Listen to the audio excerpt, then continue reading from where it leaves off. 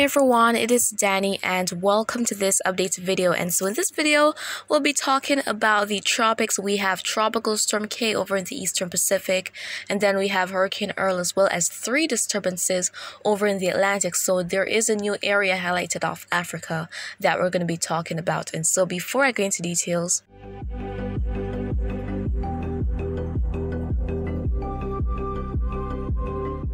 Okay, so we are going to be starting out with Tropical Storm Kay over in the Eastern Pacific.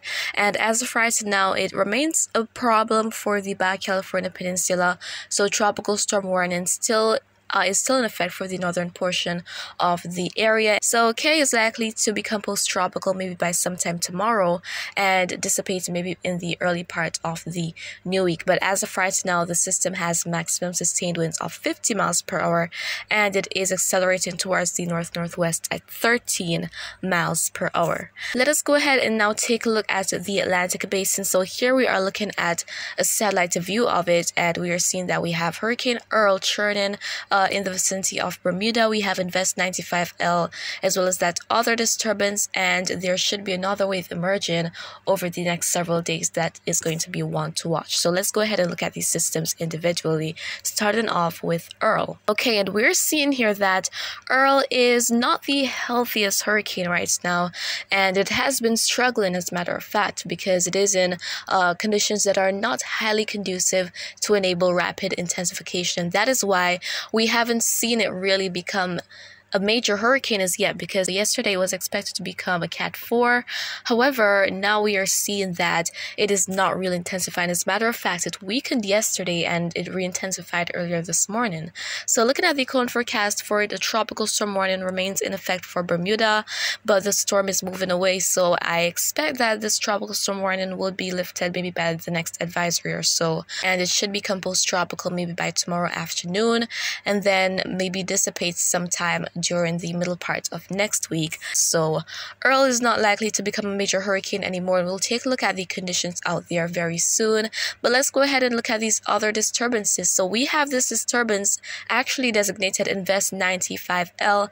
And in yesterday's video, the chance was at 70%. Well, now it has decreased. And the reason for that is because that window of opportunity for us to possibly see development is closing. So the system is encountering unfavorable conditions and it is going to be unlikely that we see any development of a tropical cyclone coming from Invest 95L. So it is likely that this won't be Fiona.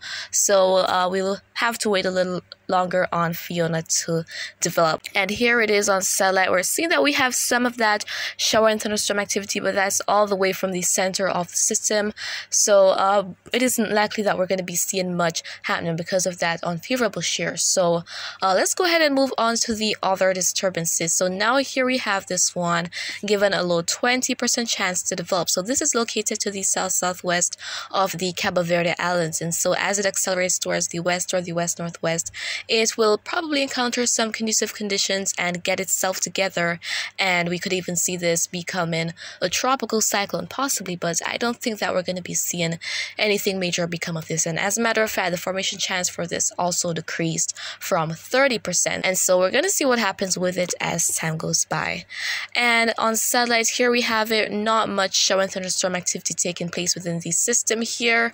But as I said, we'll have to wait and see what is going to be happening with this one. If it is going to be pulling through and getting itself together, maybe developing into a tropical cyclone. And I should mention that uh, this is the first hurricane season since 2014, I believe, where we haven't had a major hurricane up to this point.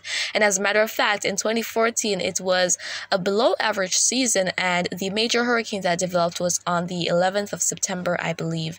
So, uh, it's been a pretty long while since we've seen the, the tropics this quiet up until this point where we don't have a major hurricane.